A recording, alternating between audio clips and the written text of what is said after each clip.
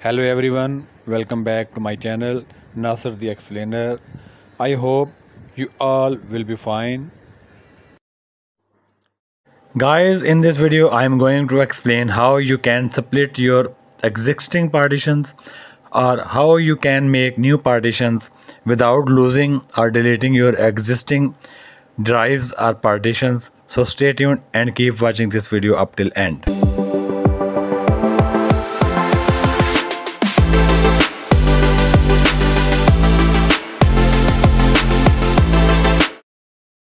So guys let's start the video.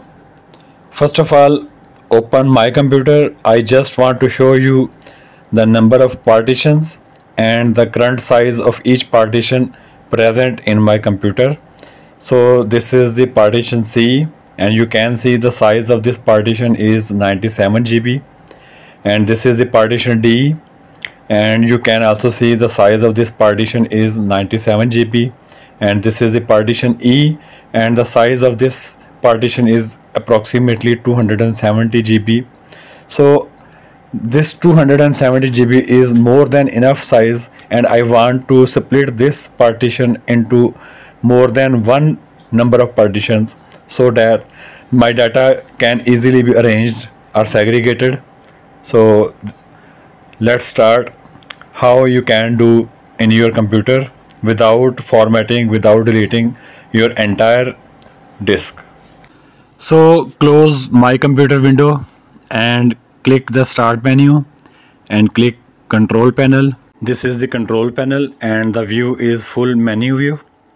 From the top list it is the second option called administrative tool.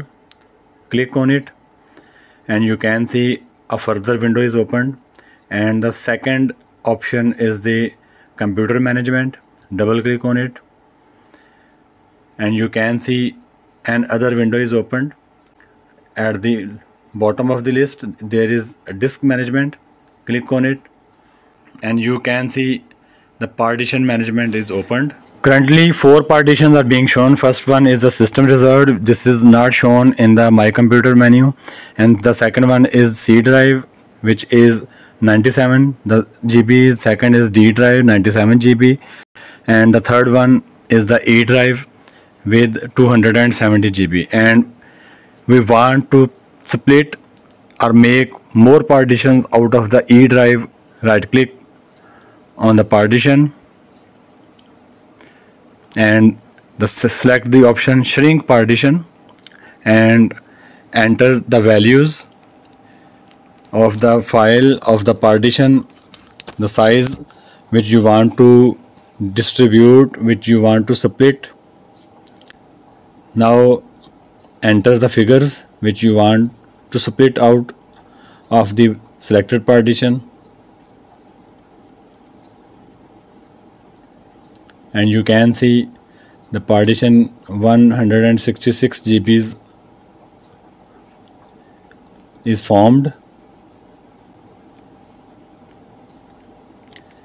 Now right click the unallocated device, new volume and enter the figures which you want to allocate in the new volume. For example, 100,000 MBs which is equal to 100 GBs. Next, next, next, finish. And you can see 100 GBs of a new partitions are allocated and some of the new partitions have been allocated or separated from the one of the 270 GBs of the single partition.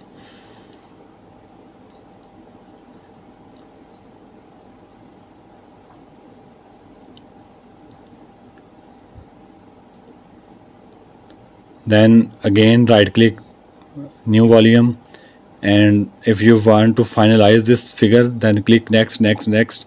Ok finish. And you can see the partitions of allocated data are being finalized. And all the unallocated data or partitions are allocated in the specified values of GBs which I have decided during the partition allocation. And you can see at the start of the process there were only three partitions. And now there are total five partitions. I think that's enough for the today's video. Thanks for watching. Take care